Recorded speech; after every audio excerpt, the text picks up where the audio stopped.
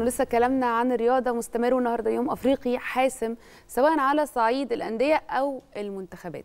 الأهلي عنده لقاء حاسم أمام سان داونز للحفاظ على الأمال في عبور دور المجموعات الأفريقية.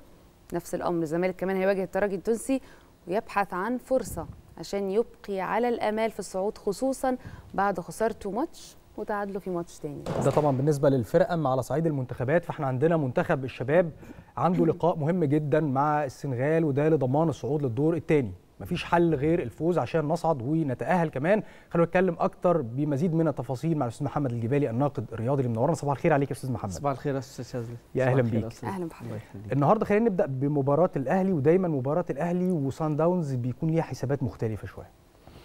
طبعا الأهلي النهارده آه، مباراة مهمة جدا وخصوصا إن دي تعتبر المباراه الثانية للأهلي في المجموعة. صن داونز جاي يلعب الأهلي وهو متصدر المجموعة بست نقاط بعد فوز في مباراتين. الأهلي لعب مباراة واحدة أمام الهلال وخسرها وكلنا شفنا ال- الأجواء اللي كانت موجودة. آه، شعار مباراة الأهلي النهارده اخدم نفسك بنفسك وخصوصا إن الأهلي هيلعب مباراتين ورا بعض في القاهرة بعد سان داونز هيلعب مع القطن الكاميروني. وطبعا بالنسبة لل- للأهلي لا بديل عنه آه، سوى الفوز وخصوصا إن هو خلال الفترة الأخيرة رجع من بطولة كأس العالم الانديه بعد كده لعب مع الهلال خسر مع الهلال عمل كامباك بسرعة أمام أسوان في بطولة الدوري. يعيش انتعاشة آه، آه، آه، جميلة في الدوري ولكن في البطولة الأفريقية يريد التعويض أمام سان داونز وخصوصا إن سان داونز يعتبر هو المنافس الرئيسي وزاد من صعوبة مباراة النهارده نتيجة مباراة الهلال بالأمس أمام القطن الكاميروني. يعني الهلال أصبح ست نقاط وسان داونز أصبح ست نقاط والأهلي لا بديل له سوى الفوز. طيب تشكيل بقى شايف التشكيل هيبقى إزاي؟ هل تعتقد إنه مثلا آه، علي معلول ممكن يرجع باك شمال محمد هاني يرجع كمان باك يمين. إيه اللي هيحصل توقعاتك للتشكيل على ما أعتقد إن كولر آه، مجهز الأسلحة ال ال ال الأكثر خبرة في في. في في المباراة. علي معلول لا جدال إن وجوده هي- هيكون سبب رئيسي في في في التشكيل خصوصا إن هو ريحه المباراة اللي فاتت. آه، كولر بسبب ضغط المباريات الأفريقية مع مباريات الدوري مع راجع من كأس عالم الأندية عمل rotation آه، الم- المباراة اللي فاتت مع أسوان لأن هو كان باصص لمباراة سان داونز وهو بيلعب مباراة أسوان لذلك هيلعب بالقوة الضاربة وخصوصا في وسط الملعب وخط الدفاع لأن في انسجام دلوقتي خلال الفترة الأخيرة في خط الدفاع لما ثبت آه، محمود محمد عبد المنعم مع محمود متولي هيلعب على ما أعتقد هيلعب علي معلول وفي موجود محمد هاني. ديانج وحمدي فتحي هيبقوا في منتصف الملعب. هيستفيد هو طبعا بوجود آه، كهربا زي ما آه، استفاد بيه في مباراة أسوان. أحمد عبد القادر حسين الشحات. دي الملامح الأساسية لتشكيل الأهلي لأن هو هيلعب بخطة هجومية آه، بحتة لإدراك الفوز أمام صن داونز. عظيم. الأهلي مع أسوان كان فايق قوي في الشوط الأول. والشوط الثاني مش قادر احدد هل مستواه هل بدأ يلعب مثلا على حسب المباراة المباراة محتاجة كده فأنا بأدي فقط حتى ممكن يكون تغييرات. مارسيل كولر بتقول حاجة زي دي برضو.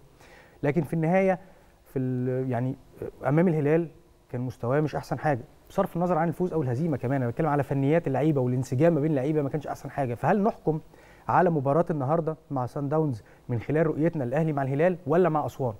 لا نحكم من خلال رؤيتنا مع أسوان وخصوصا في الشوط الأول مم. في الشوط الأول آه، آه، حسينا إن الثلاث أهداف حتى جم في الشوط الأول وط- وطبيعة اللاعب المصري للأسف الشديد بعد ما جيت ثلاث أهداف آه، آه، آه، الشوط الثاني الأهلي آه، أصبح خلاص ضامن الفوز بدأ يريح آه، بدأ ال- الأمور تاخد مجراها اللي هو التقليدي العادي إن أنا ضمنت الثلاث آه، نقاط آه، آه، الشوط الأول تحديدا كان عبارة عن ردة فعل لمباراة الهلال. عايز يقول للجماهير إن أنا لأ أنا مباراة الهلال خسرتها بأسباب تحدث عنها ال- الكثيرين من النادي الأهلي. فعشان كده كانت ردة فعله قوية جدا في الشوط الأول من خلال مم. مباراة أسوان. وفي الشوط الثاني الطبيعة العادية بتاعة أي لاعب مصري إن أنت ضمنت الفوز لعبت مباراة كويسة بدأ يعمل تغييرات بدأ يريح اللعيبة على أساس إن هو برضو ماشي في خط متوازي. بطولة الدوري متصدر بلا هزيمة حتى هذه اللحظة في في في في في جدول الدوري. وفي نفس الوقت بيبص على بطولة أفريقيا فهو كولر كان في مباراة أسوان بيبص على مباراة سان داونز بعد ما فاز في الشوط الأول على أسوان بثلاث أهداف. طيب نقاط القوة عند آه، كولر والأهلي والنقاط كمان نقاط القوة عند سان داونز ويمكن خلينا نقول نقاط الضعف عند سان داونز المفروض الأهلي يستغلها. آه، سان داونز معروف من من من يمكن الأهلي مع سان داونز التقوا مع بعض قبل كده 12 مرة. صحيح. آه، آه، والأهلي تفوق رقميا الفوز ست مباريات وخسارة ثلاث مباريات.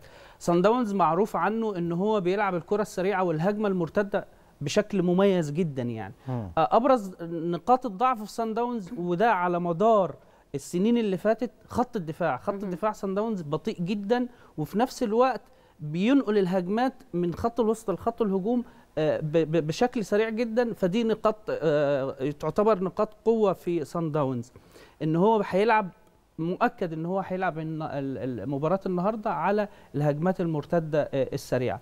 بالنسبة لنقاط القوة في النادي الأهلي على ما أعتقد إن ال- الخماسي الهجومي هو اللي هيكون مفتاح الفوز للنادي الأهلي. وخصوصا لو تكلمنا عن الأطراف محمد هاني وعلي معلول ده هيفكوا اللوغاريتم اللي ممكن يلعب بيه سان داونز لأن سان داونز من مصلحته إن هو يطلع بنتيجة إيجابية مهم. نتيجة إيجابية اللي هي تعتبر التعادل على أقل تقدير دي هت- هتحطه في حتة تانية خالص وخصوصا إنه هيبقى ليه مباراة تانية مع الأهلي في جنوب أفريقيا. لكن بشكل عام سان داونز بيقدم كرة حلوة جدا وكرة ممتعة وكرة سريعة زي ما حضرتك قلت فكرة ال- اللعب على المرتدات إزاي مارسيل كولر هيتعامل مع حاجة زي دي؟ يعني أعتقد إنه لازم هنا اللي هيأمننا من الموضوع ده نص الملعب والدفاع نص الملعب إنه بيزيد مع الهجوم ويرجع على طول.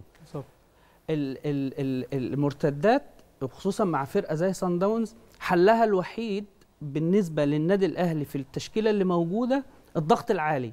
الضغط العالي بمعنى إيه؟ بمعنى إني أنا ما أديش فرصة من بداية الدفاع. لنقل الهجمات أو إن أنا أرسل كرات خلف ظاهري علي معلول و- و- ومحمد هاني عشان كده أعتقد من المؤكد إن مدرب سان داونز هيلعب على الأطراف. لأن هو علي معلول ومحمد هاني دايما بيطلعوا عشان يعملوا الأوفرات فهو هيحاول بقدر الإمكان يلعب على على الأطراف هنا هيبقى في دور حمدي فتحي وأليو قبل ديانج. قبل حمدي فتحي وأليو ديانج ال- ال- بالنسبة للأطراف هل هم في لياقتهم محمد هاني وعلي معلول عشان يرتدوا؟ محمد هاني محمد هاني بيعيش حالة جميلة جدا علي معلول ممكن الإصابة خلال ال- ال- ال- ال- الفترة الأخيرة اللي تعرض عليها ممكن تكون أثرت على مستواه بشكل آه، إلى حد ما ولكن مم. محمد هاني يعيش حالة توهج كروي وخصوصا إن هو سنه صغير ولياقته البدنية عالية جدا يعني هنا هنا ممكن يكون في أدوار لحمدي فتحي وأليو ديانج في وسط الملعب إن هم يغطوا في حالة آه،